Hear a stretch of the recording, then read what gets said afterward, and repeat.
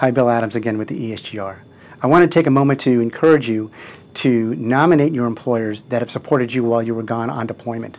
All you need to do is go to the website esgr.mil and you'll find the nomination papers or documentation there. Once you put them in and they are awarded a Patriot Award, which is the one that we do most often, we'll go to their offices and we'll present them with a certificate. It's normally framed, and we'll ask that you join us if you're available. It's a great opportunity. It's a great way to say thank you to your employers, and I encourage everybody to do it. Thank you.